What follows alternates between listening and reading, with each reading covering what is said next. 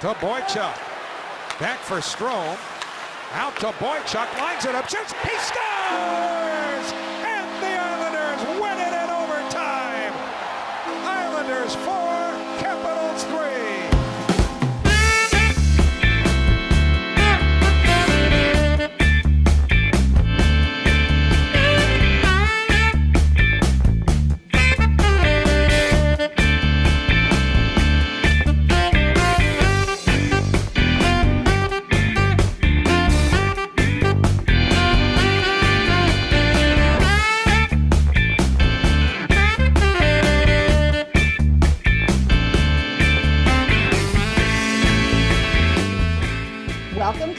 to Dishing with Donna, and look who's cooking at Showcase Kitchens. We've got Chef Rudy and Johnny Boychuk. so, so, Chef, what are you making for us here today at Showcase? We're gonna open up with some appetizers. Nice. I have a vegetable dumpling. We have a vegetable spring roll, bang bang shrimp. Lastly, beef tenderloin. Excellent. So, you're a big fan of food, right? Yeah. Okay. So, uh, being in the NHL, uh, your first uh, big game that you played was at Hershey, In Hershey, Hershey, Bears. yeah, for for the Bears. Yeah, it was. Uh, it smelled like chocolate all over the town.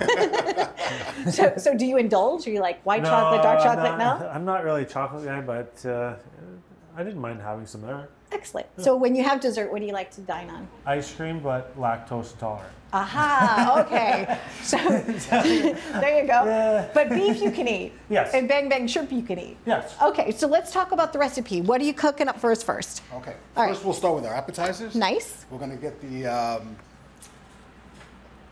What steamed is that? This is a bamboo steamer. Also, it could be a hockey puck, a giant hockey puck. No, think so? I don't know. Okay. it's round. No. So okay. We're do, we'll, plate, we'll plate some of these up. All right. Now, what's in these? Vegetables. We have uh, napa cabbage, Okay. scallions, Nice. carrots, Lovely. and we have cellophane noodles. Okay. just to keep everything together. And we're gonna serve this, put them up this, with a little sweet chili glaze. That looks really tasty. So, chef, what got you into cooking? Well, I'm second generation. I learned from my father. Okay. He was a chef. Uh, I was always the kid that was not outside playing sports, but learning from him in the kitchen. And it just seemed like a natural progression for me. Beautiful. And how about you, Johnny? What got you into hockey? Uh, family, brothers were playing hockey, and uh, you'd always be at the hockey arena. So it's just same thing. Now, did you ever play on a frozen pond or Uh, only like in a community rink? community rink, like uh, Okay. you'd go there like once or twice a day, or not day, but uh, once or twice a couple every week. So yeah, it's just normal. Excellent. So, um, and now we've got food that brings us together. So uh, let's take a taste. That looks yummy. please. Okay, so this, what is this? Um, this whole thing you made? This whole thing. Wow.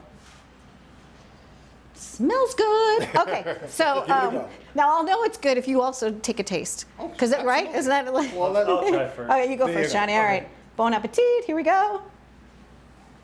Yummy. Mm-hmm. All right. all right, I'll try one. Okay. They say chefs don't try their own food. There you go. But here, but here we do because it's dishing with Don, and that's what we're doing. We're dishing it up, and we're having a taste. Okay, so I'm going to take a taste too. Mmm. It's good. Yeah, it is good. all right. Quality ingredients really makes a difference. So uh, once again, what's in this? Napa cabbage. Napa cabbage. Okay, Carrots, the cellophane noodles, and that's it. that's it. There you go. And you steam them in what is that thing called? A bamboo steamer. Bamboo Just steamer. Over a pot of water. Okay. Let it go for a couple of minutes. It'll create its own steam, and then just they just come out perfectly like that. Excellent. So I know one of the things you guys have in common um, is that you both have twins. Yes. So like when you're talking about, uh, you want to talk about your, your, your team at home and your home team, and I'm going to eat this. So continue. Here we go. My girls will be 16 this year, and exactly, exactly. So they coach my wardrobe. They they're my they're my biggest food critics. Okay. All right, and they're brutal, so it's okay. I got two four-year-olds, and they just it's either they're fighting or one's good, one's bad, and but uh, so far it's been a, a great experience, and Absolutely. and it's gonna be. Definitely, definitely. And our second appetizer is Appetizer. appetizers. Um, so if you're watching at home, uh, we are at Showcase Kitchens and so excited to be here today. Uh, John Stark, his wonderful family, it's a five generation uh, family business and they invited us in to like dish, dish it up. Um, and these are These spring are rolls. Spring rolls. Okay.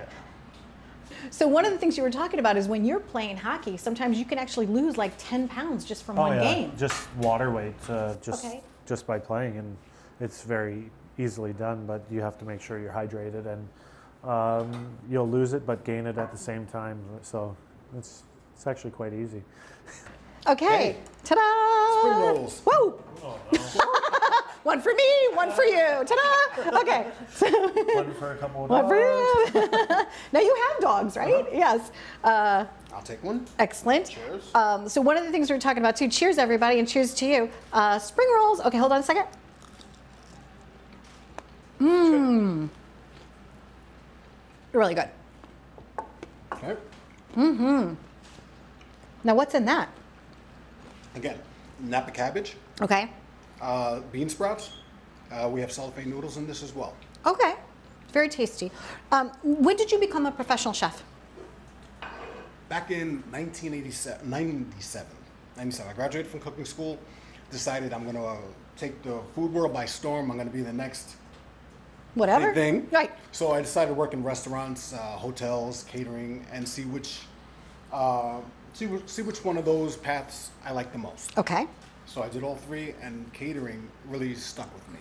Because everywhere you go, it's a different locale, and it's not just the four walls of a restaurant. So I really enjoy that. Wonderful.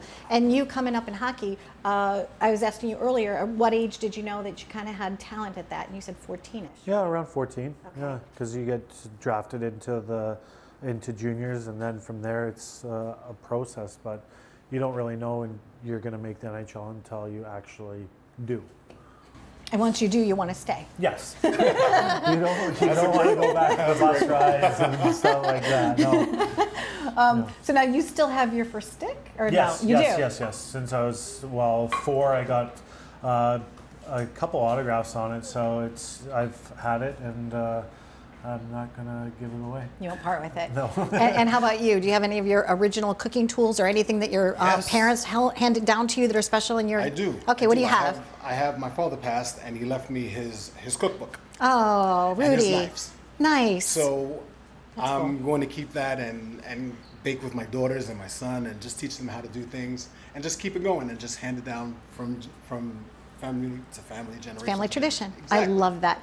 Um, and you said something about bang bang shrimp. Bang bang shrimp. Bang bang shrimp. You got that. Okay, so what's in bang bang shrimp? Bang bang shrimp. Okay. Ooh, that This looks is tasty. bang bang shrimp. Yum. It's a crunchy coating of um, cornstarch, Okay. a little seasoning, uh, a little uh, Asian five spice. Then you deep fry them, and again you take a, a chili glaze and you sear them. You sear the shrimp in the chili glaze, Excellent. so it coats it. Okay. And the cornstarch helps thicken the sauce as well. Tasty, very tasty. My grandfather was also a chef, Really? and he had a polenta stick. Okay. And that stick, like he would stir the polenta with it, right? Nice. Um, and always enjoyed going to his house. We always would have on Sundays. Um, I used to call it kitchen cacciatore. I didn't know until years later it was actually chicken cacciatore. so like I think I was an adult before I realized. I was like, oh, it's chicken cacciatore. Oh, who knew? Um, but it was always fun to go to his house on Sundays and you know have a meal. And my other grandfather would always make us pancakes every Sunday, like the silver Nice, dollar nice. size. Yeah, so all those like family memories. But that's what it's all about. It's all about food and family, and that's you know, the the kitchen is the heart of the house. So everybody gravitates towards the kitchen. Nice. That smells incredible. Thank you. That's what you're here because you, Johnny loves to eat. Okay, let's just let's just say it like it is, right? Johnny. It's like- We're taking care of Johnny. That's it. Oh my gosh, that looks So, tasty. Bang bang Okay, okay. They're a little. I'm little not I'm spicy, not going to toss this one in there. Whoa. Okay. Little spicy, a little sweet. Uh, let's go from the top, I guess. Okay. Lovely. Good.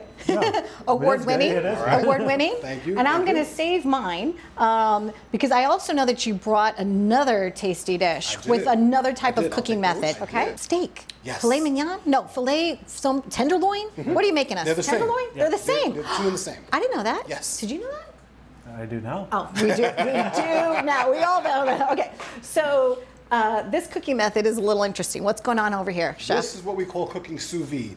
okay. And sous vide, translated from the French, is called cooking on the vacuum, which means you're taking the food and you're vacuum packing the food and you're cooking it in a temperature, uh, a precise temperature bath. Okay. The steak is in 134 degree bath. It won't overcook because the temperature never surpasses 134 degrees. Oh. So it stays juicy, it cooks in its own juices, and it's a great method of, of cooking. Safe for us to hand it over to you? Oh, absolutely. All right. Absolutely. And she takes the pants and, And score. Okay. The pants. I don't, I don't know. so what, what, what would the phraseology be in hockey? Shoots, Score. scored. There you go. Oh, the pants. oh, oh, Takes the pants. she takes the pass. No, the pass. Oh, the pass. Okay. Okay, so you, I know that you sharpen your knives every single day. All, all, Okay. all the time, constantly. Um, when I interviewed Peter Max, one of the things that he taught me too is that every single day Mm-hmm. he paints, and even even uh, Tony Bennett, same thing. Every single day, you would think that he gets up and he sings, but actually he paints. He's an artist. Mm-hmm. Okay. So, and food is art. So it's important to have your tools be nice and sharp. You're only as good as your tools. Wonderful.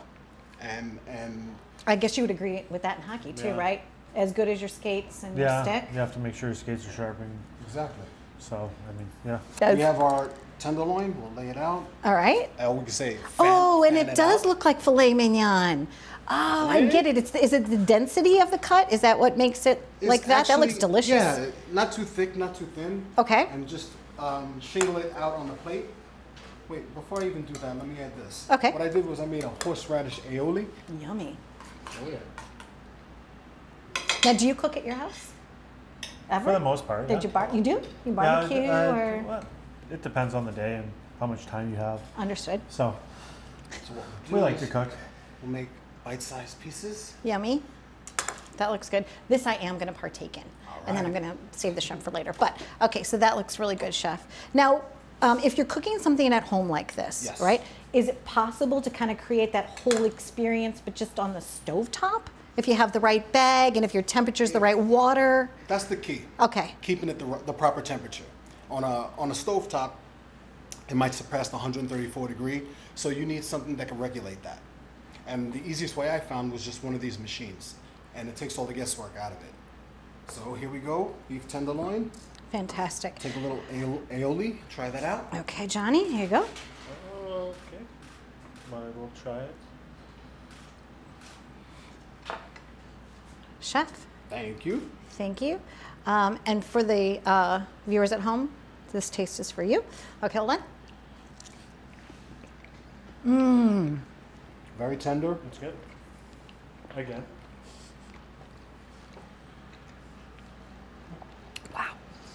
Wow. Whew. That is good quality meat. Right? So if you start with, it's important, I guess, to have something that starts with quality, quality ingredients. Absolutely. It makes it makes a world of a difference. Good quality ingredients, good results on the end. Now, when you're um, traveling and you're eating on the road, is there like a snack that you take with you? Apples, oranges, bananas, like, or No, we usually just go on the well before you get on the plane. You have lunch, and then you get to the city wherever you are, and go to a restaurant and indulge. excellent and indulge. I don't take no. Just have whatever you want. Exactly. Fine dining at its best. Absolutely. That's really good, isn't it? Yeah, it okay. is really really good. Congratulations. That's Thank you. absolutely Thank you so wonderful. much. um, how can somebody learn from you at home? Uh, do you have YouTube videos? I'm What's starting a YouTube channel. you are wonderful. Um, same for hockey. Uh, how do you like to um, embrace the questions that you get from fans at home in terms of hockey? Do you ever get like those fan letters that say, "Hey, I want to grow up and I want to be you, Johnny"? Uh, you just uh, answer them truthfully. I mean, um, yeah, you get fan letters and you try to answer as many questions as you can. But uh, you know, if somebody asks you a question, just be truthful. That's what happened to me. So And I, and I know on our show, um, the whole show is about living it up. So, Mm-hmm. how do you like to celebrate life? How do you and your family live it up? uh, we just got back from vacation. We went to uh, Bahamas and and today we're here. So I mean, it was a, a quick turnaround, but uh, it, it was a fun trip. Wonderful. And how about you, Chef? I like to get the whole family around, cook, laugh, play some music, and just enjoy one one another.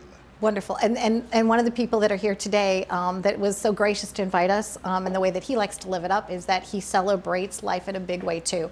Uh, you want to come, John? Come over here. This is John Stark.